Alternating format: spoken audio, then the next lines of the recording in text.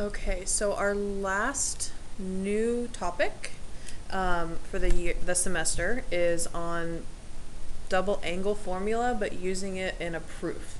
So we do have um, not as many proofs as the last unit, um, but we do have a few that go with our double angle formulas and using those to help us prove statements. So we're gonna go through two proofs here and then I'm going to charge you with trying to figure out an alternate method on one of them and we'll do one more in class tomorrow um, or Monday. So just like with any other proofs, our directions are to verify.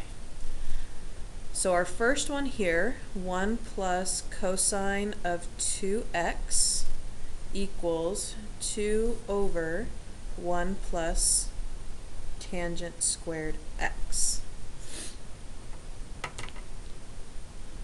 So just like our proofs from units previously, we pick a side to work with and pick a side that we try to match. So on this one, um, I'm going to try to match the right side. So I'm going to work the left side to get it to look like the right. So when I think about this, I want I know I have a cosine double angle and I have to think which form do I want. So this again we have three forms of this one. And so again, this is where we might need to do some forethought. I need to somehow turn a cosine into a tangent. Um, so I don't know if I want to put a sine in there because that might not help. Um, but we can try it. Um, I think I'm actually going to try the cosine squared one. So I'm going to turn all of this into 1 plus 2 cosine squared x minus 1. Now could you try a different one and see if it works? Yeah. Um, it might take you on a different path, but since my choices were between sine and cosine, I'm going to stick with cosine. Um, from here, I can combine some like terms, so those add up to 0, leaving me with just 2 cosine squared x. So now I need to think, what can I do from here? From here, my brain is thinking trig identities. I need to somehow get tangent. So when I think about my trig identities, this one comes to mind.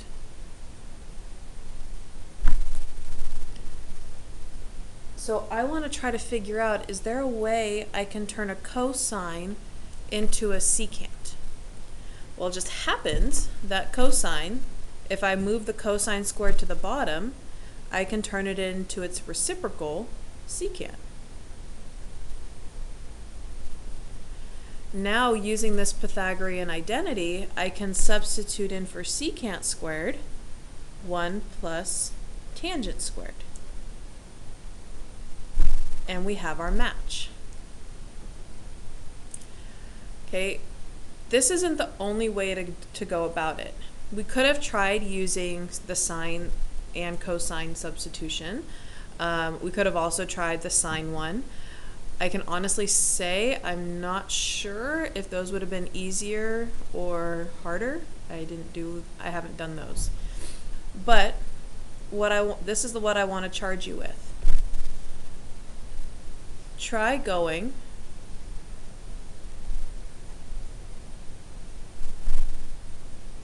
from right to left.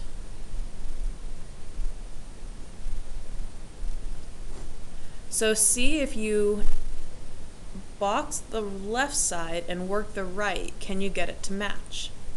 Sometimes that might be a little bit easier. So what I want you to do is, here's this one. This was, I think, the harder side to do.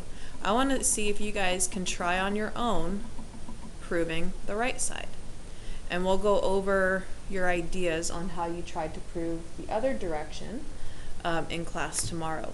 It is possible um, you might have to use your Pythagorean identity again or um, look into other methods as well. You don't have to use the Pythagorean identity.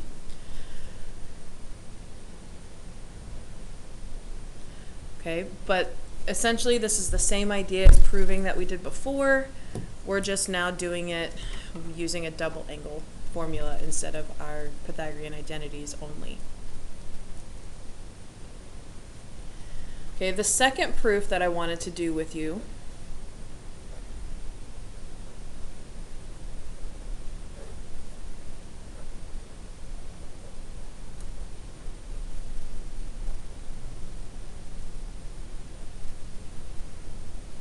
is this one here. So again, we're looking at a cosine double angle. And we have to, again, try to determine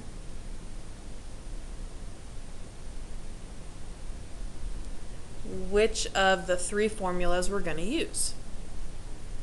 So first thing, pick a side you want to work with and what side you're going to try to match up. So I'm going to try to match up to tangent squared and I'm going to work with the left. Alright, so again I need to turn a cosine into a tangent, but I have a cosine on both top and bottom. So this is where I'm thinking if I have a cosine on top and a cosine on bottom and it needs to become a tangent, that means I somehow need to get a sine on top and a cosine on bottom. So I'm going to think about using the 1 plus, no, 1 minus.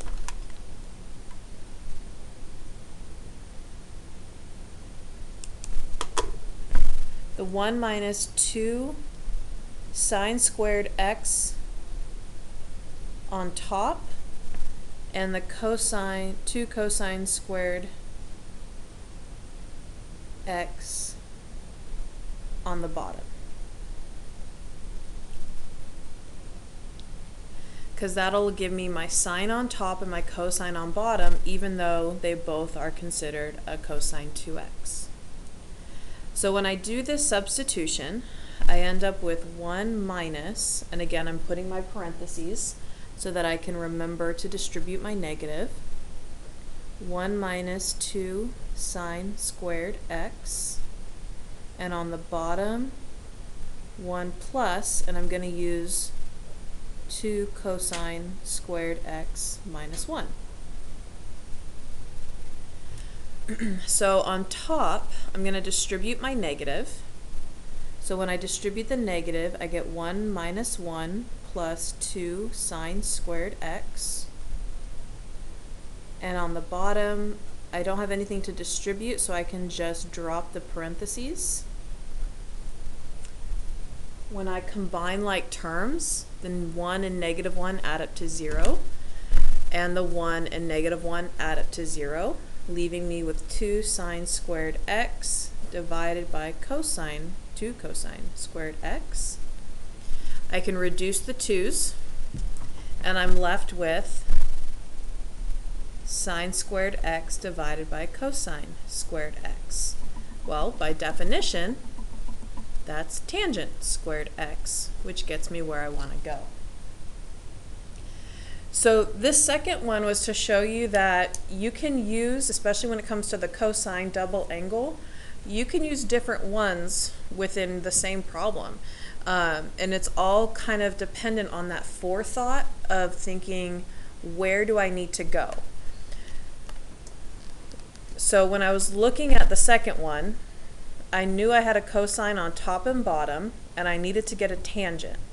So that's why I chose to do sine on top and cosine on bottom. So I used the two versions that would give me a sine on top and a cosine on bottom. For the first one, I had just one cosine and it was on top.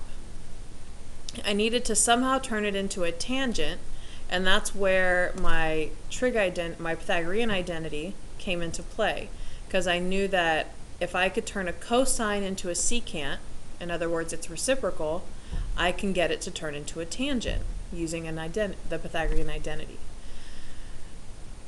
There's only really one way to, to do these, and that is to try. You have to pick one to go with. There's not necessarily one way, just like we had done before. There's never one way to prove something. Um, it's just a matter of which path you take. So tonight, I would like you to try seeing if you can go from the right side and make it look like the left. You might need to use the Pythagorean identity. You might need to use a different um, function. Try it. See if you can go from this side to this side. And then I have one more that I want to do with you guys in class to make sure that we're okay on our proofs um, before we take your quiz on Tuesday.